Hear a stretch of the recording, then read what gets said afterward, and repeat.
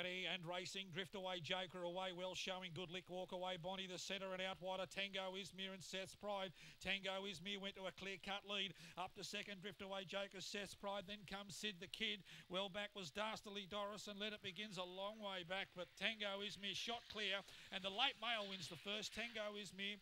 Second home in the run was Drift Away Joker, Seth's Pride third, and Sid the Kid fourth. Next up was Bella L. Walk Away Bonnie knocked up. Let It Begin was well back when they went over the line, and the winners clocked around 18.10.